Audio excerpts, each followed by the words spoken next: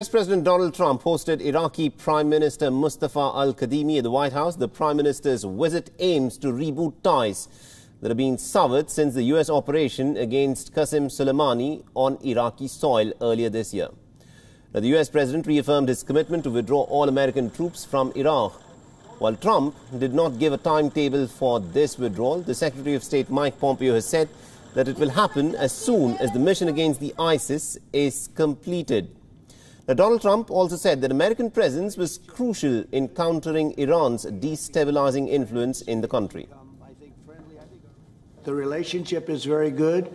Uh, we have become friends. We have become, I think, friendly. I think our relationship now is better than ever before, but we have uh, very few soldiers uh, in Iraq, and, uh, but we're there to help.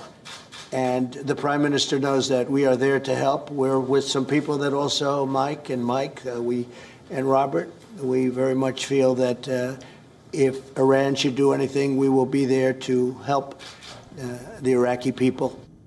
The pro-Iranian politicians in Iraq want American troops to be expelled immediately from the country. The U.S. has nearly about 5,000 troops on the ground stationed in Iraq, along with 2,500 coalition forces. Now, al-Kadhimi's proximity to the West has further angered the Iranian-backed militia, and this has resulted in a spike in the number of attacks on U.S. targets in the country. Now, al-Kadhimi has rejected Iran's influence in his country and has recaptured multiple border posts run by the militia. He's also moving to secure energy deals with Western companies to rebuild an economy that is in doldrums. Now, Iraq has also signed energy deals with five U.S. firms during the Prime Minister's visit. At his meeting with Trump, Al Kadhimi has proclaimed that Iraq is open for American businesses. I'm grateful for all the support offered by the United States to Iraq during the war against ISIS.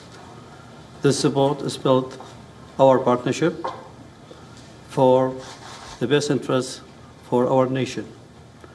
Mr. President, yesterday we, all, we signed many contracts many contract with American companies, over 10 billion dollars.